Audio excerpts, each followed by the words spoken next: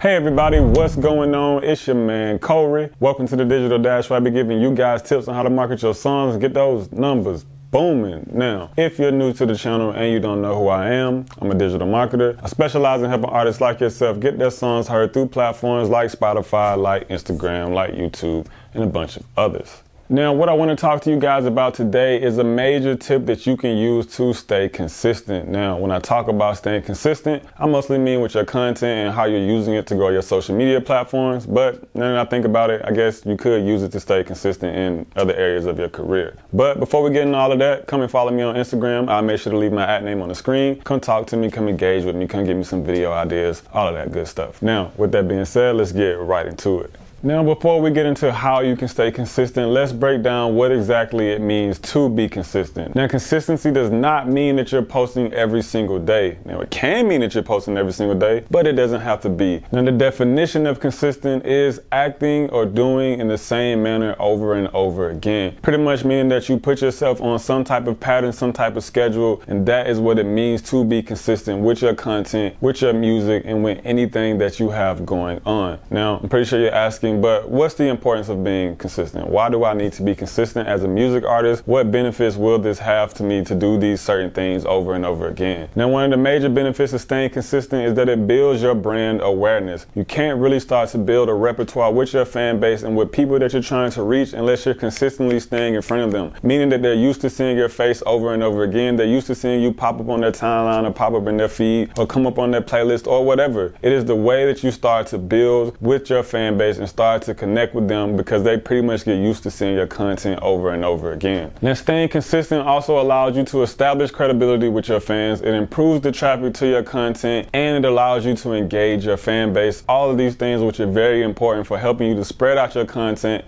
and therefore start to spread out and grow your fan base. So staying consistent with your music releases, with your music videos, with your content production, with the way that you work your social media accounts is pretty much the key to building and establishing a brand within a certain group or community. It's pretty much the way that you make sure that your fans or your potential fans don't forget about you and move on to the next thing.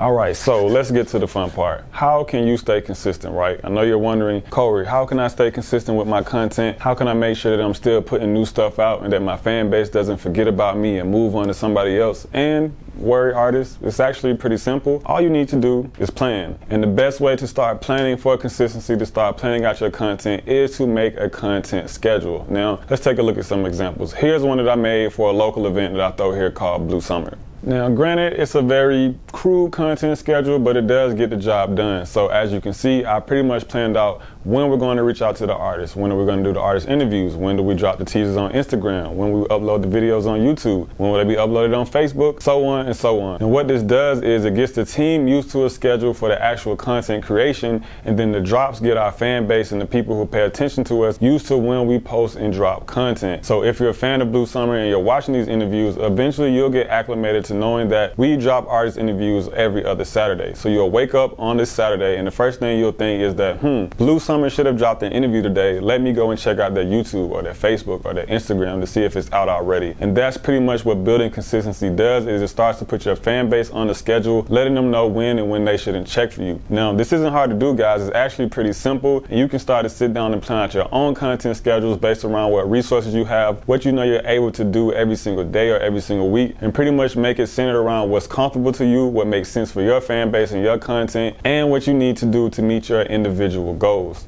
So there you have it guys. That's pretty much my major tip to be more consistent is to plan your content out, plan your release schedules out, and do so by making an actual content schedule. Now I know it's not the sexiest tip, you know, I know it's not this major key that I'm sure you guys were hoping for, but it is very important that you do so. Being consistent is the difference between pushing your content out on these platforms and them not going anywhere. It's the difference between building brand awareness with people that know and don't know you, and it's the difference between establishing relations and a connection with your fans fan base or the people who call themselves your supporters. And just to help you guys out, I'll leave a blank copy of that content schedule in the description below. I'll also make sure to leave a little short list of steps that you should take in order to build up your content schedule. Now, as always, guys, if you feel like you learned anything today, please like and share this video. Hit those post notifications as well as I wouldn't want you guys to miss anything.